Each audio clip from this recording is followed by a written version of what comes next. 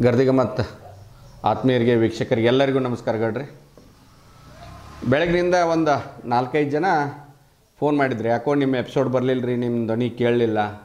ನಿಮ್ಮ ಧ್ವನಿ ಕೇಳಲಿಲ್ಲ ಅಂತಂದ್ರೆ ನಮಗೆ ಏನೋ ಕಳ್ಕೊಂಡಂಗೆ ಆಗ್ತೈತ್ರಿ ಅಂತಂದ್ರೆ, ನಾನು ರವಿವಾರ ಬೆಳಗ್ಗೆನ ಮಾಡ್ರಿ ಆತ ಎಪಿಸೋಡ್ ಅಂತೇಳಿ ಸ್ವಲ್ಪ ಏನೇನೋ ಕೆಲಸಗಳಿದ್ದು, ಆದರೂ ಅವರ ಫೋನ್ ಮಾಡಿದ್ದಕ್ಕೆ ಅಥವಾ ನನ್ನ ಒಂದು ಎಪಿಸೋಡನ್ನು ಇಷ್ಟು ಆಸಕ್ತಿಯಿಂದ ಜನ ನೋಡ್ತಿತ್ತು ಅಂದ ಕೂಡಲೇ ಮತ್ತು ಆಫೀಸಿಗೆ ಬಂದು ಕುಂತೇನು. ಕೆಲವು ದಿನಗಳ ಹಿಂದೆ ಈ ವಂಶಾಡಳಿತ ರಾಜಕಾರಣ ಬಗ್ಗೆ ಹೇಳೀನಿ. ಯಾಕೋ ಗೌಡ್ರ ಈ ವಂಶಾಡಳಿತ ರಾಜಕಾರಣ ಮುಂದುವರಿಸಲಿಲ್ಲ, ಯಾಕೋ ಗಪ್ಪ ಬಿಟ್ಟರು ಅಂತೇಳಿ ಭಾಳ ಮಂದಿ ತೆಲಾಗೈತೆ ಮ್ಯಾಗಿನ ಮ್ಯಾಗ ನೆನಪು ಮಾಡ್ತಿರ್ತಾರೆ. ಗೌಡ್ರ ಯಾಕೋ ಆ ವಂಶಾಡಳಿತ ರಾಜಕಾರಣ ಬಗ್ಗೆ ಮತ್ತೆ ಯಾಕೋ ಹೊಳ್ಳಿ ನೀವು ಎಪಿಸೋಡ ಮಾಡಲಿಲ್ಲ, ಮಾಡ್ತೇವೆ ಅಂದವ್ರ ಅಂತ ಹಿಂಗೆ ಮಾತಾಡ್ತಿರ್ತಾರೆ. ಯಾವಾಗಾರೆ ನನ್ನ ಆತ್ಮೀಯರು ಅಂತಿರ್ತಾರೆ. ಯಾಕಂದ್ರೆ ಈ ನಮ್ಮ ದೇಶವನ್ನು ಸಾವಿರಾರು ವರ್ಷಗಳಿಂದ ರಾಜ ಮಹಾರಾಜರು, ಮುಸ್ಲಿಂ ದೊರೆಗಳು ಆಳಿದ್ರು. ಇದನ್ನೆಲ್ಲ ಇತಿಹಾಸದ ಪುಟದಾಗ ನೋಡ್ತೇವೆ ನಾವು. ಯಥಾ ರಾಜ, ತಥಾ ಪ್ರಜಾ. ರಾಜ ಹೆಂಗೆ ಇರ್ತಾನೆ ಹಂಗೆ ಪ್ರಜೆಗಳು ಇರ್ತಾರಂತೂ ನಾವು ಇತಿಹಾಸದ ಪುಟದಾಗ ಓದ್ತೇವೆ. ನಂತರ ಬ್ರಿಟಿಷರು ಆಳಿದ್ರು ನಮ್ಮನ್ನು. ಯಾಕಂದ್ರೆ ನಮ್ಮ ದೇಶ ಆಳೋರ ಕೈಯಾಗಿ ಆಳಿಸ್ಕೊಂಡವ್ರು ನಾವು. ಒಟ್ಟಾರೆ ನಮ್ಮನ್ನ ಆಳ್ಬೇಕಂತ ಅಪೇಕ್ಷೆ ಪಡುವಂಥ ಜನ ಇನ್ನೂ ನಮ್ಮ ದೇಶದಾಗ ಐತೆ. ನಮ್ಮನ್ನ ಯಾರಾದರೂ ಆಳ್ಬೇಕು, ನಮ್ಮನ್ನ ಕಮಾಂಡಿಂಗ್ ಮಾಡ್ಬೇಕು. ಅಂದಾಗ ನಮ್ಗೆ ಸಮಾಧಾನ ಐತೆ ಅನ್ನುವಂಥ ಜನ ಇನ್ನೂ ಐತೆ ಅಂತ ಜನ ಮಾತಾಡ್ತಾರೆ. ನಂತರ ದೇಶಕ್ಕೆ ಸ್ವಾತಂತ್ರ್ಯ ಸಿಕ್ಕ ನಂತರ ನೆಹರು ಅವರು ಆಳಿದರು.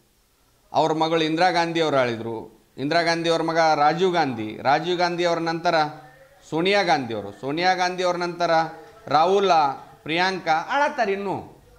ವಂಶಾಡಳಿತ ಪದ್ಧತಿ ಇಲ್ಲೂ ಐತೆ. ರಾಜ್ಯದಾಗ ದೇವೇಗೌಡರ ಆಳಿದ್ರು, ಅವ್ರ ಮಕ್ಕಳು ಆಳಿದ್ರು, ಅವ್ರ ಮೊಮ್ಮಕ್ಕಳ ಆಳತ್ತಾರೆ ಇನ್ನೂ. ಈಗ ಸದ್ಯ ಮರಿಮಕ್ಕಳನ್ನು ಅಧಿಕಾರಕ್ಕೆ ಬರೋ ಹಾದಿ ನೋಡತ್ತಾರೆ ದೇವೇಗೌಡರ ಕುಟುಂಬದಿಂದ. ಆ ನಂತರ ಕಾಂಗ್ರೆಸ್ನಾಗ ಖರ್ಗೆ ಧರಮ್ಸಿಂಗ ಗುಂಡೂರಾವ್ ಮಕ್ಕಳು, ಅವರು ಆಡಳಿತ ಮಾಡತ್ತಾರ. ಅಲ್ಲೂ ವಂಶ ಪಾರಂಪರ್ಯ ಆಡಳಿತ ಐತೆ. ಬಿ ಜೆ ಪಿ ಒಳಗೂ ಯಡಿಯೂರಪ್ಪನವರು, ಅವ್ರ ಮಕ್ಕಳು ರಾಘವೇಂದ್ರ, ವಿಜಯೇಂದ್ರ ಆಳತ್ತಾರ. ಯಾಕಂದ್ರೆ ಒಟ್ಟಾರೆ ನಮ್ಮನ್ನು ಆಳಿದಾಗ ಆಳಿಸ್ಕೋತೇವೆ ನಾವು. ನಮಗೆ ಊಟ ರುಚಿ ಹತ್ತೈತೆ ಅಂತ ಕೆಲವೊಂದು ಜನ ಅವ್ರು ಏನೇ ಮಾಡಿದ್ರೂ ಅದನ್ನು ಒಮ್ಮ, ಒಮ್ಮತೈತೆ ನಮಗೆ. ನಮ್ಮ ರಾಜ್ಯದಾಗ ರಾಜ್ಯದಾಗಾತು, ಜಿಲ್ಲಾದಾಗ ನಮ್ಮನ್ನ ಆಳಿರನ ನಮಗೆ ಸಮಾಧಾನ ಇರ್ತೈತೆ ಅನ್ನುವಂಥ ಒಂದು ವರ್ಗ ಐತೆ. ಆವಾಗ ನಮ್ಮ ಜಿಲ್ಲಾಕ ಬಂದು ನಿಂತಿತ್ತು. ಇವತ್ತು ನಮ್ಮ ಸಾಬ ಪ್ರಶಾಂತ್ ಕಿಶೋರ್ನ ಗುಡಿಯೂ ದೋಸ್ತಿ ಐತಿ ನಮ್ಮ ಸಾಬಂದ.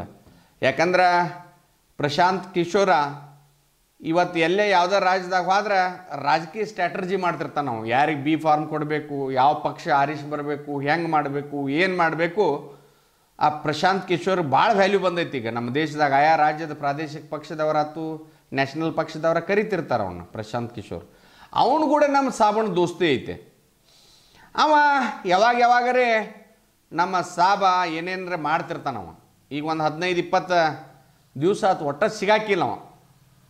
ಈಗ ಮೊನ್ನೆ ಸಾಬ್ ಸಿಕ್ಕಾಗ ಅವ್ಗೆ ಹೋಳಿಗೆ ಊಟ ಅಂದ್ರೆ ಸಾಬ್ಗೆ ಭಾಳ ಭಾಳ ಲೈಕ್ ಮಾಡ್ತಾನೆ. ಮೊನ್ನೆ ಬೆಳಗಾವದಾಗ ತುಪ್ಪ ಹಾಕಿ ಹೋಳಿಗೆ ಊಟನೂ ಮಾಡಿಸಿದ್ದೇನೆ. ಈಗ ಏನಾಗ್ತೈತೆ ಅಂದ್ರೆ ನಾನು ಈ ಎಪಿಸೋಡ್ ಮಾಡೋತ್ನಾಗ ನಮ್ಮ ವೀಕ್ಷಕರು ಕಮೆಂಟ್ ಮಾಡ್ಬೇಕು. ಈ ವಂಶಾಡಳಿತ ರಾಜಕಾರಣ ಇರಬೇಕು, ಇರಬಾರ್ದು. ಇದು ಬದಲಾಗಬೇಕಂದ್ರೆ ಬದಲು ಯಾಕೆ ಆಗ್ಬೇಕು ಅನ್ನೋದಕ್ಕೂ ಕಮೆಂಟ್ ಮಾಡ್ಬೇಕು. ನೀವು ಬರೀ ನೋಡಿ ಮನ್ಯಾಗ ಕುಂತ್ರೆ ಆಗೋದಿಲ್ಲ. ನೀವು ಎಷ್ಟು ಮಂದಿ ಸೇರ ಕಮೆಂಟ ಲೈಕ ಮಾಡಿ ಅದನ್ನ ಮಾಡ್ತಾ ಇರ್ತಲ್ಲ ಅವಾಗ ನಮಗೊಂದು ಅದಕ್ಕೆ ಹುಮ್ಮಸ್ಸು ಬರ್ತೈತೆ ಆ ಎಪಿಸೋಡ್ಗಳು ಮಾಡಕ್ಕೆ. ಬರೀ ಬಾಪುಗೌಡ್ರ ಹೇಳ್ರಿ ಅನ್ನೋದು ಗಪ್ ಮನ್ಯಾಗನ ಕುಂತ್ ಬಿಟ್ರೆ ಆಗೋದಿಲ್ಲ. ಅದನ್ನು ಚರ್ಚೆ ಆಗ್ಬೇಕು. ರಾಜ್ಯದಾಗಾತು, ಜಿಲ್ಲಾದಾಗಾತು, ದೇಶದಾಗಾತು, ಈ ವಂಶಾಡಳಿತ ರಾಜಕಾರಣ ಹೋಗಬೇಕು, ಇರಬೇಕು ಅನ್ನೋ ಚರ್ಚೆ ಶುರು ಆಗ್ಬೇಕ. ನೀವು ಬರೀ ನೋಡ್ರಿ ಗಪ್ ಕುಂತ್ರೆ ಆಗೋದಿಲ್ಲ. ಇಡೀ ಶೇರ್ ಮಾಡಬೇಕು, ಲೈಕ್ ಮಾಡಬೇಕು, ಕಮೆಂಟ್ ಮಾಡಬೇಕು. ಅದನ್ನು ಮಾಡಿದಾಗ ನಮಗೊಂದು ಪ್ರೋತ್ಸಾಹ ಬರ್ತೈತೆ. ಈಗ ನಮ್ಮ ಜಿಲ್ಲಾಕ ಬಂದು ನಿಂತೈತೆ. ಈಗ ನಮ್ಮ ಜಿಲ್ಲಾದ ಎಲ್ಲ ಪಕ್ಷದ ರಾಜಕಾರಣಿಗಳ ಮಕ್ಕಳನ್ನ ಮೊಮ್ಮಕ್ಕಳನ್ನ ಮರಿಮಕ್ಕಳನ್ನ ತಯಾರು ಮಾಡಿದ್ದಾರೆ ಎಲ್ಲ ಪಕ್ಷದಾಗ ಅದಾರ ಇವ್ರ. ಒಂದು ಹೊಂದಾಣಿಕೆ ರಾಜಕಾರಣ ಮಾಡ್ಕೊಂಡು ಹೋಗ್ತಿರ್ತಾರೆ. ಹಂಬು ಹಂಬಿ ಚುಪ್ ತುಂಬಿ ಚಿಪ್ ಅಂತ ನಮ್ಮ ಜಿಲ್ಲಾದಾಗಿಂದ ಹೇಳತ್ತೀನಿ ಈಗ.